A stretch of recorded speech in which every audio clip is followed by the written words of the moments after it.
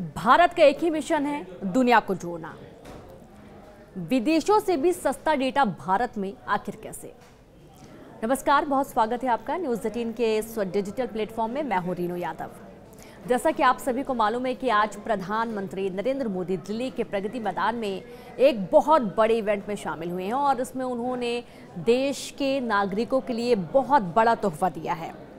प्रधानमंत्री नरेंद्र मोदी ने 15 अक्टूबर यानी कि आज 15 अक्टूबर 2024 को इंडिया मोबाइल कांग्रेस के आठवें एडिशन की नई दिल्ली के प्रगति मैदान में शुरुआत की और इस दौरान उन्होंने कहा कि आज दूसरे देशों में मोबाइल डेटा की कीमत भारत की तुलना में 10 गुना महँगी है और भारत का एक ही मिशन है दुनिया को जोड़ना। जितना डेटा का इस्तेमाल भारत देश में होता है, ये सबसे ज़्यादा है। विदेशों में डेटा बहुत ज़्यादा महँगा है और इस वजह से लोग इसका बहुत सोच समझ कर इस्तेमाल करते हैं। इस टेक इवेंट पे दुनिया भर के 120 से ज़्यादा देश हिस्सा ले रहे हैं 400 से ज़्यादा एग्जिबिटर और लगभग 900 स्टार्टअप भी शामिल हैं। तो वहीं आईएमसी 2024 एग्जीबिशन में प्रधानमंत्री मोदी को टेक इनोवेशंस दिखाए गए और पीएम के साथ ही केंद्रीय संचार मंत्री ज्योतिरादित्य सिंधिया भी इस दौरान मौजूद रहे। कुछ छोटे छोटे जो इनोवेशंस किए गए हैं, उनकी प्रदर्शनी लगाई गई थी, जिन्हें देखा गया है और समझा गया है कि जो नए इनोवेशन है, किस तरीके से देश को आगे बढ़ाने में स्टार्टअप की दुनिया में एक बहुत बड़ा योगदान दे सकते हैं। तो वहीं प्रधानमंत्री मोदी ने वर्ल्ड टेलीकम्युनिकेशन स्टैंडर्डाइजेशन असेंबली 2024 का भी उद्घाटन किया, जिसे पहली बार भारत और एशिया प्रशांत क्षेत्र में इंटरनेशनल टेलीकम्युनिकेशन यूनियन ने आयोजित किया है। 190 से अधिक देशों के 3000 से अधिक प्रतिनिधि इसमें शामिल हुए हैं। देश विदेश के कई बड़े प्रतिनिधि इसमें शामिल हुए और ये जो इवेंट है, ये न सिर्फ़ भारत के लिए, बल्कि देश दुनिया के लिए भी बहुत ही खास और बहुत ही महत्वपूर्ण है।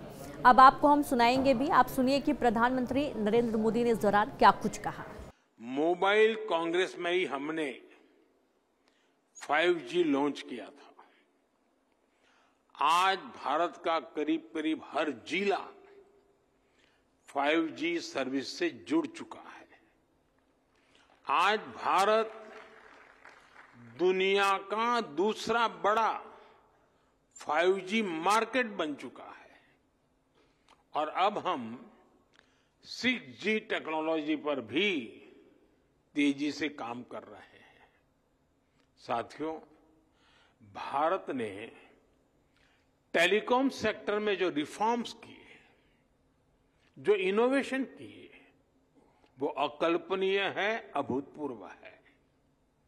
इससे डेटा की कीमत बहुत कम हुई। आज भारत में इंटरनेट डेटा की कीमत लगभग 12 सेंट प्रति जीबी है।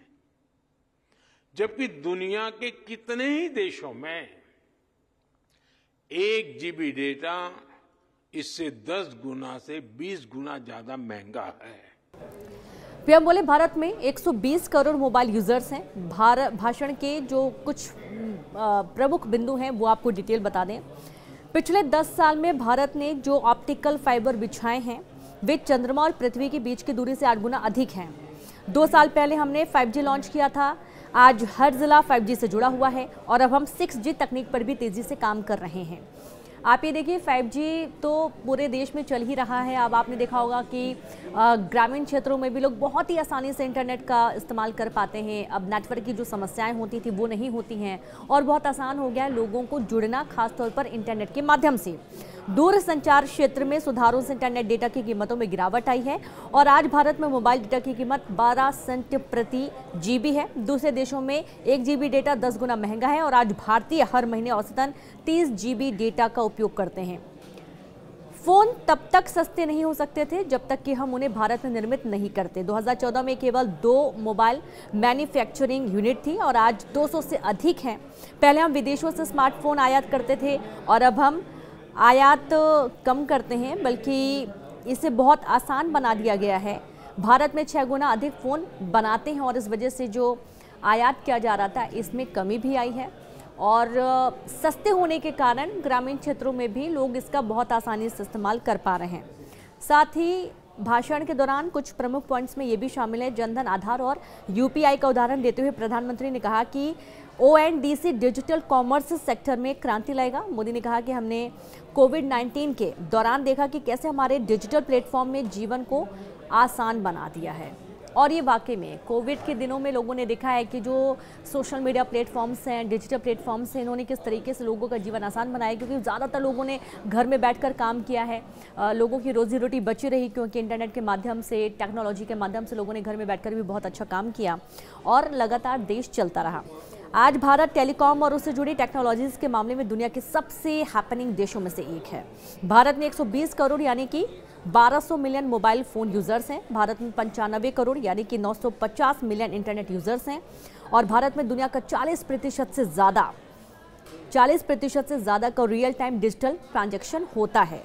अब आप देखेंगे कि जो यूपीआई या इंटरनेट के माध्यम से जो पेमेंट्स किए जाते हैं, ये सबसे ज़्यादा देश में होते हैं। पूरे विश्व की अगर बात कर ली जाए तो भारत देश में जो यूज़र्स हैं वो बहुत ज़्यादा और आपने देखा होगा कि आजकल जो छोटे व्यापारी हैं, जो सब्ज़ी विक्रेता हैं, फल विक्रेता हैं, यहाँ तक कि जो रोड में दुकान लगा कर रखे हुए हैं ठेले गुमटे वाले, उनके पास भी क्यूआर कोड होता है जिसमें वो पेमेंट करवा सकते हैं।